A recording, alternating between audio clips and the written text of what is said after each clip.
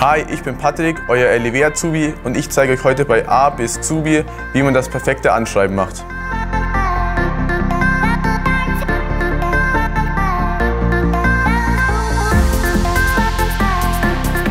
Wie ihr wisst, ist das Anschreiben der erste Eindruck und der erste Eindruck zählt. Deswegen zeige ich euch heute vier Tipps, wie ihr das perfekte Anschreiben macht.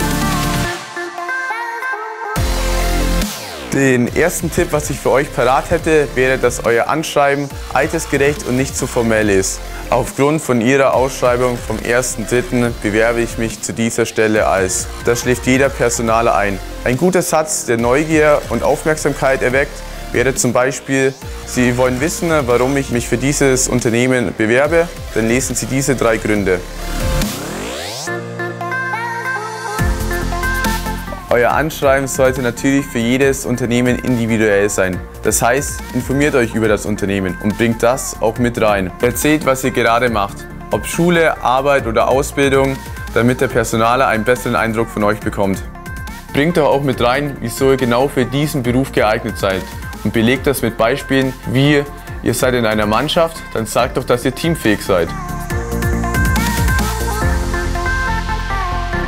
Neben dem Inhalt spielt die äußere Form eine große Rolle. Ihr wisst, wer euer Ansprechpartner ist, dann schreibt ihn doch direkt an und vergewissert euch, dass er zu diesem Unternehmen gehört. Zur Form gehört natürlich auch die Rechtschreibung. Vergewissert euch, dass ihr keine Rechtschreibfehler in euren Anschreiben habt und lasst es zur Korrektur eure Eltern lesen. Zu guter Letzt, Unterschrift nicht vergessen.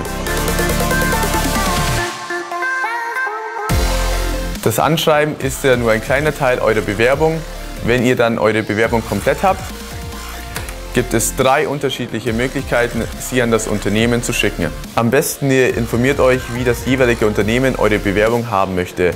Eine Möglichkeit wäre, sie ganz klassisch per Post zu schicken. Die zweite Möglichkeit wäre, die Bewerbung per E-Mail an das Unternehmen zu schicken. Packt dabei alle Unterlagen in eine PDF-Datei und hängt diese an die E-Mail. Achtung, das Anschreiben gehört auch in das PDF-Dokument. In der E-Mail schreibt ihr am besten sowas wie Sehr geehrte Damen und Herren, anbei finden Sie meine Bewerbung.